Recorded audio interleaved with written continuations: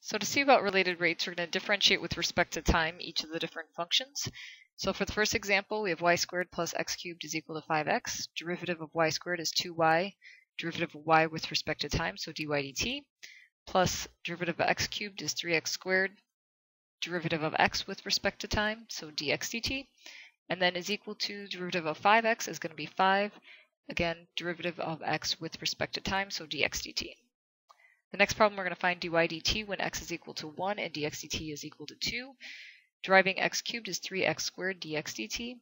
Derivative of 3 is 0, and derivative of y squared is 2y dy dt.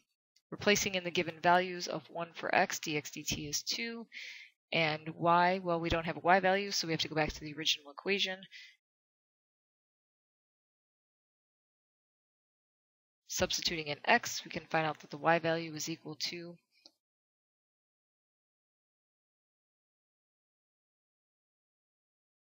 plus or minus 2. So we're placing that back into the function. Now we can calculate and solve for dy dt.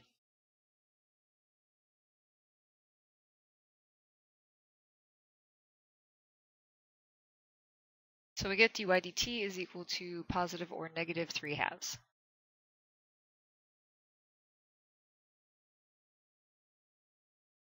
When solving a related rate problem, there's just six steps to follow. First, just make a sketch.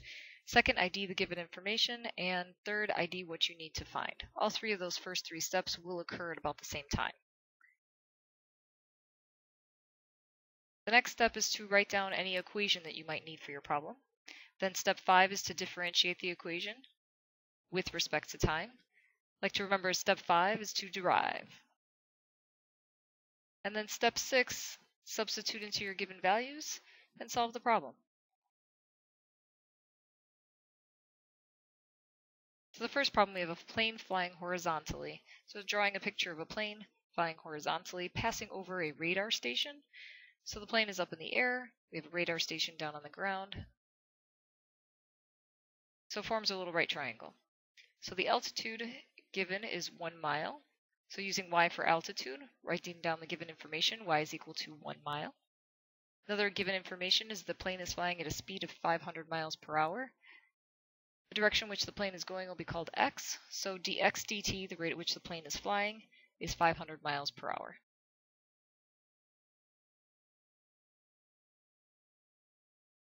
Another given information is that the plane is 2 miles away from the station, so the value of c, the plane from the station, is equal to 2 miles.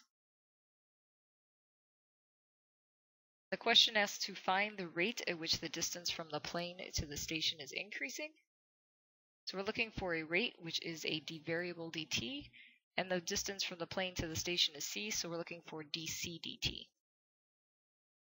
Next up, write an equation. x squared plus y squared is equal to c squared. Step 5 is to derive, so 2x dx dt plus 2y dy dt is equal to 2c dc dt, differentiating with respect to time every variable. Well, the airplane is going to stay at an altitude of one mile, so since y is going to be constant, the derivative of y with respect to time is going to be zero.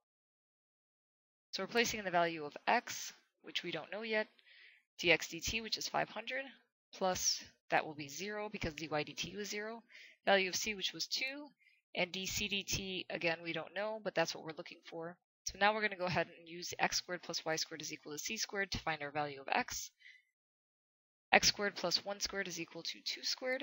So we have x squared is equal to 3, and so x is equal to the square root of 3. Replacing that value of x into the problem, we can now solve for dc dt. So we have 1000 square root of 3 is equal to 4 dc dt. So dc dt is equal to 250 square roots of 3. So the question to find the rate at which the distance from the plane to the station is increasing, 250 square roots of 3 miles per hour is the rate that the distance from the plane to the station is increasing.